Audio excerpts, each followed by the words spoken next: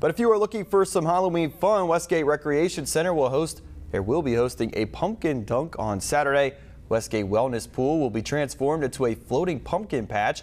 where children between the ages of 5 and 12 will be able to pick a pumpkin from the water and decorate and paint their chosen gourd. You can register for this spooky good time on our website at WDHN.com.